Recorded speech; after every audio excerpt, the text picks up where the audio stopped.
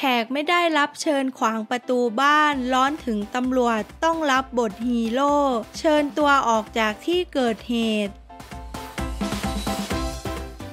ผู้พิทักษ์สันติราษฎร์เรียกว่าเป็นที่พึ่งทุกอย่างให้ประชาชนจริง ๆ เพราะไม่ว่าจะมีเรื่องเดือดร้อนเล็กหรือใหญ่ คนที่ประชาชนจะนึกถึงเพื่อขอความช่วยเหลือเป็นลำดับต้นๆ คงหนีไม่พ้นเจ้าหน้าที่ตำรวจ โดยล่าสุดกลายเป็นภาพที่น่าเอ็นดู เมื่อเจ้าหน้าที่ตำรวจต้องรับหน้าที่ช่วยเหลือประชาชนที่ไม่สามารถเข้าบ้านได้ เหตุเพราะแขกไม่ได้รับเชิญมาขวางหน้าบ้านกันขนาดนี้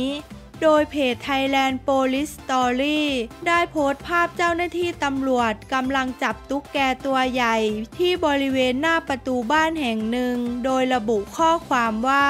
สถานีตำรวจภูทรบึงโขงหลงพอจวบึงการรับแจ้งเหตุ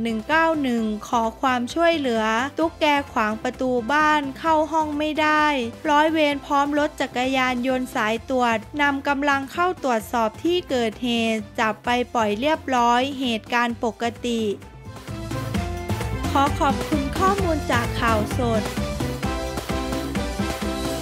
อย่าลืมกดติดตาม พร้อมทั้งกดรูปกระดิ่ง เพื่อแจ้งเตือนทุกครั้งที่มีคลิปใหม่ๆ จะได้ไม่พลาดคลิปของเรื่องเล่าข่าวค้นนะคะ รักทุกคนค่ะ